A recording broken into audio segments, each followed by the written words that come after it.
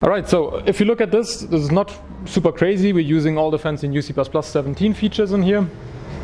Um,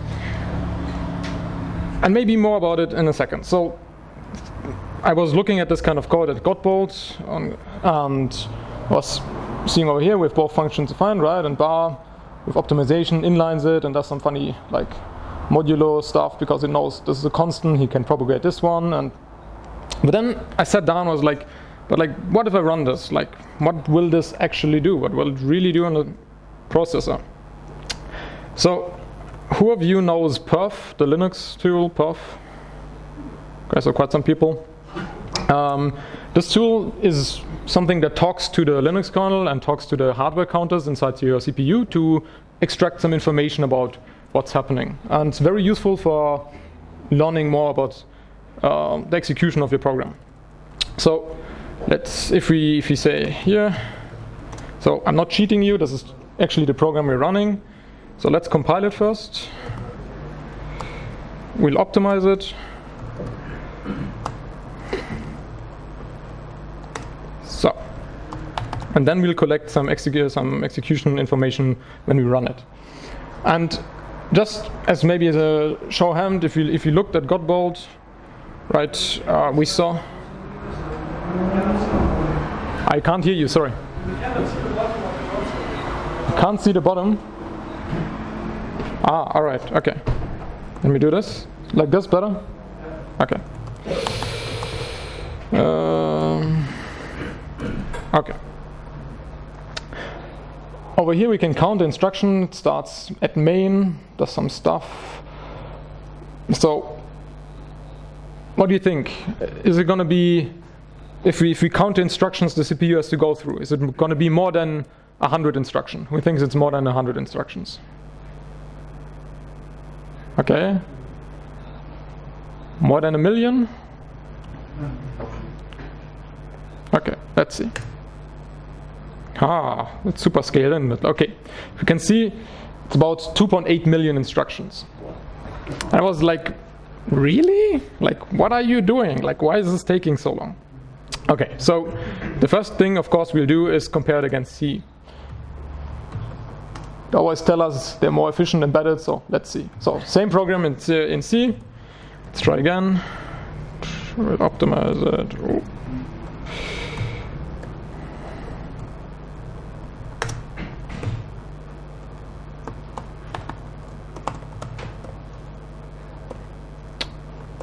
C up. Okay, so who thinks it's going to be more?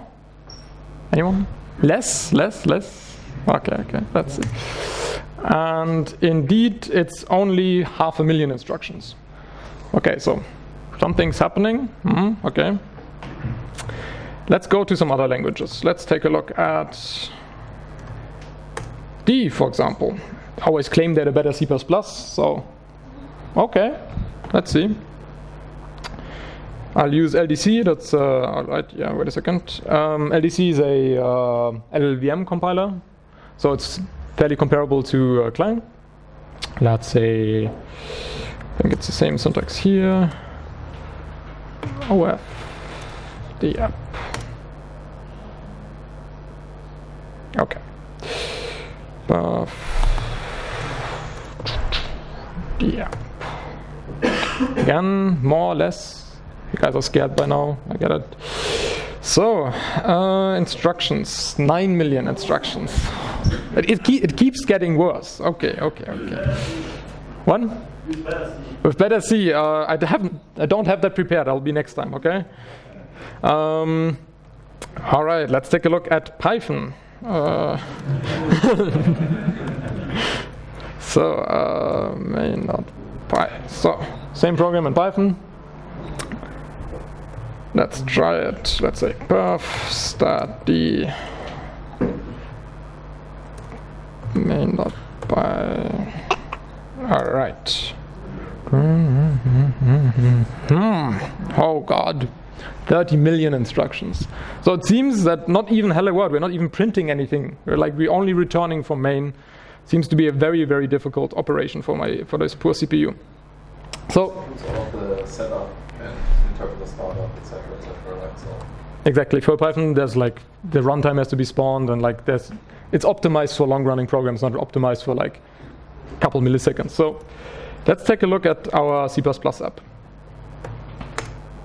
And we can see it links against quite a couple libraries. So maybe all this instruction stuff happens because the operating system has to go and do this somewhat complex task of runtime linking. Let's try compiling um, statically. Let's see what happens if you compile statically. Oh, okay.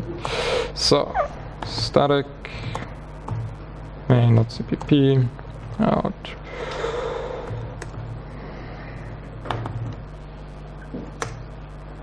Okay.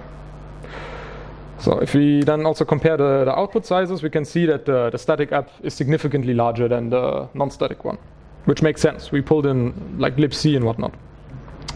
Let's see again. Uh, p-app static. Still 260,000 instructions, but as much as I tried on this machine, I couldn't get lower. For some reason, on a different Linux machine, I could get down to like something like 40,000 instructions, which is still a lot of instructions for static binary. No, like there's no linking, nothing. Um, CPP app static. So not a dynamic executor. So I have no real answer why this is. So this is something only an observation I made uh, lately that I found somewhat surprising, right? Like your hello world takes three million instructions. I, I understand these days we're doing a lot of abstractions, but okay. So that's it. Thanks.